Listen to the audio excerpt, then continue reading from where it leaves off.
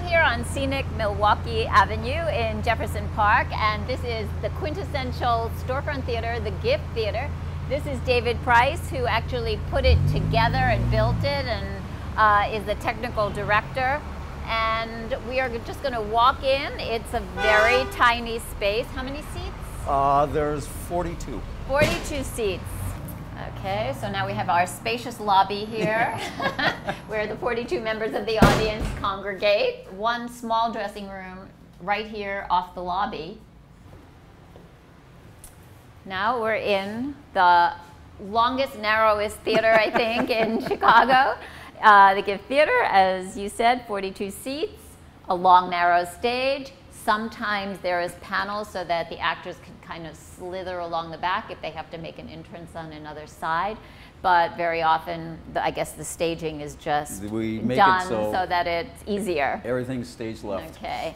this is a very public space. So The actors have no place to hide.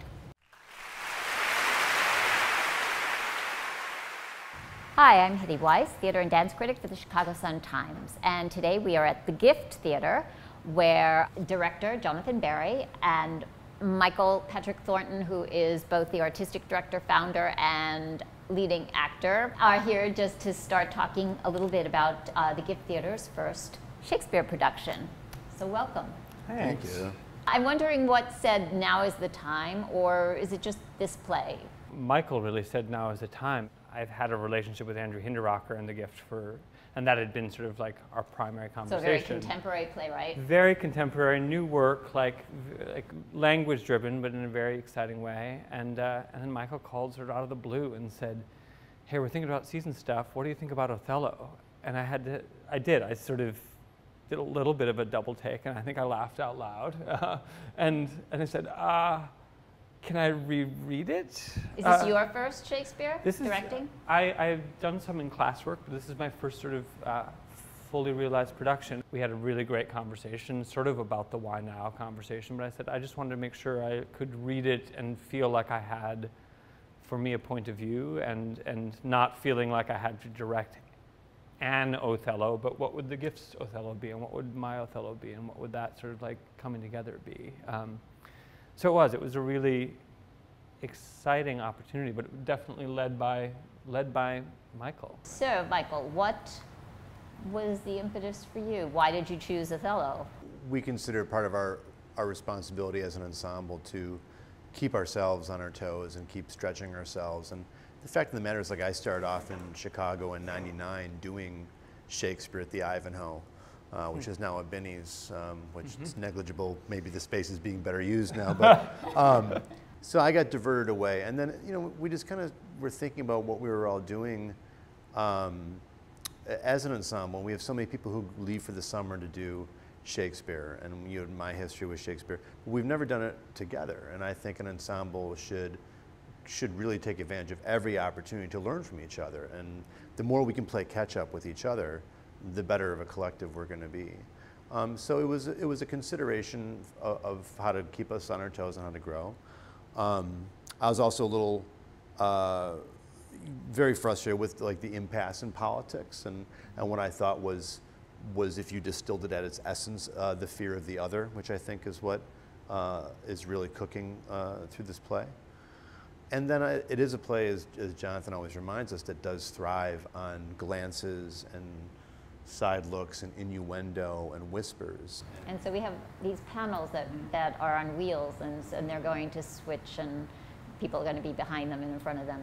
yeah, and you know, it, it, was 24 feet wide and 12 feet deep here. So I think our space, out of all the Shakespeare plays, I think, I think uh, the gift can really help augment what it feels like to be in the minds and hearts of these people by virtue of how intimate our space is. And this play is also obviously at its core about envy and professional jealousy and, and um, romantic jealousy.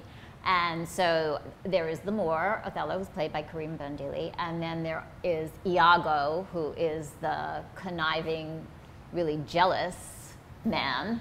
Honest, honest Iago. What do you and, and I'm wondering, um, obviously, you work in a wheelchair. That's, and yeah, nobody sees it. Um, and I'm wondering if there is that that tension, you know, that um, Othello is able-bodied, Uh-huh. and there is. I'm wondering if you talked about that, or if you even use that, or if you just ignore it. Well, I think you know I, I don't like to talk about my process too much, but I think uh, I think anything I do has to be filtered through the wheelchair. Um, I am assuming that it was in Cyprus over nine months ago where I was injured in battle, so returning there uh, is a great psychological hurricane. Oh, that's know. really interesting. Um, I mean, no one's gonna. It's not. I mean, That's your story. that, that, that's, that's just for me, but you know, how do you make a space as fertile as possible? I mean, you know, we're sitting in as panels and a, a black box, right, and some lights and sound. So, uh, having a personal relationship with this island um, seems like uh, a, a, a wise thing to do in terms of playability and uh, and so yeah, I mean, you know, you assume that for what you sacrifice for your country, you would be rewarded. And then to be replaced with this Excel spreadsheet dork, you know, Cassio. Outside. Yeah. Um, so, I mean, yeah, I mean, everything I do is in some ways right. um, a, a reckoning with what I can and can't do. And Now, just to get off the subject of Othello for a second, um, you've been trying to expand this theater a bit, and there's a firehouse, old firehouse down the block. Uh, is there? I hadn't heard uh, that. yeah, I hadn't heard that. so, It's right down the block from here? I, I heard that you bought it for a dollar from the city. oh, is that right? Yeah. Oh, okay. Um, so what's what's the plan? Uh, the, well, the plan right now is, you know, we've met with architects and we're going to be submitting a, a formal redevelopment plan to the city of Chicago. Uh, I, I've not asked for it for a dollar. That would be, um, I got to beat Looking Glass by a penny. So if, if we get so lucky to get to that point, maybe 99 cents or something. But, but no, uh, it, it's, um, you know, we're, we're, we're filling up here. And the fact of the matter is, you know, we want to have all of our ensemble members who want to get their equity cards. You have something true to our hearts to keep theater affordable. Our top ticket price is thirty-five dollars, you know, and then you have productions which cost almost sixty thousand dollars. And 42 seats. And 42 seats, even if every single seat sells out at a top price, you know. So, you know, those days have long passed. But um, uh, I'm curious of what a space looks like that is more of a, a, a community gathering center um, that you can hang out in at a pub, whether you're seeing the show or not. You know, I think there's been some attempts to do that. Some here, more discussion in the lobby and more. yeah, exactly. You know, um, I was 16 or 17 in Ireland, and my cousin uh, was taking me to the Abbey, and I asked him what was playing, and just like on the way from one room to the other to get his tie, he said, "Oh, it doesn't matter. I don't even remember what's playing. It's the Abbey. It's always great." And it took me probably 10 years to realize what, how, how unbelievable that statement was. That that this this theater had created such a relationship with the patron that he actually didn't even know what he was was seeing that night. And it didn't matter because he and his wife were going to go get a drink and dinner there in the theater beforehand, see the play, and then go uh, hang out afterwards and maybe with some of the actors. And I think if there's if, if there's one thing I'm a big believer in is that that we need to bring the arts down a little bit to an everyday level where the consumption of art is just as necessary as like going grocery shopping, you know.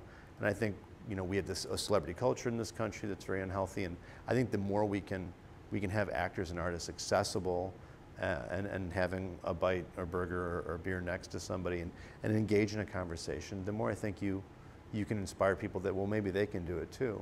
Well, thank you, Jonathan, and thank you, Michael. Oh, you're welcome. And uh, I look forward to seeing the production. Thank you. And thank you for tuning in to Curtain Call.